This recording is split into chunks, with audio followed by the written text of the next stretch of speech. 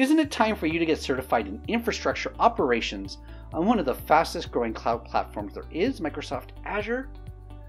Hi there, my name is Scott Duffy, and I have created some of the most popular Microsoft Azure courses on the web.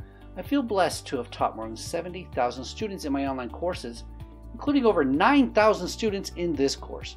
I'm very excited to introduce this course to you that will help you to pass Microsoft Exam 70 533 implementing Microsoft Azure Infrastructure Solutions.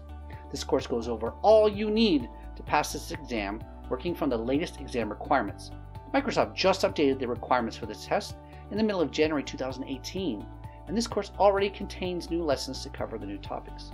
You'll get lifetime access to over nine and a half hours of on demand videos, including updates added to the future.